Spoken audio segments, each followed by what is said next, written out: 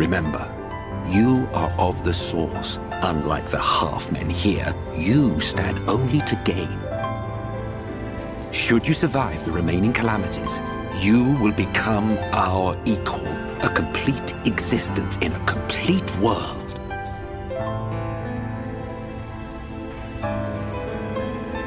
But such talk is a pleasure for later. Back to work, hero. Ah, there was one thing I had meant to ask. How well do you know the exile? Has he ever deigned to show you what hides beneath the cowl? No. What? Never? Even to you? How very interesting.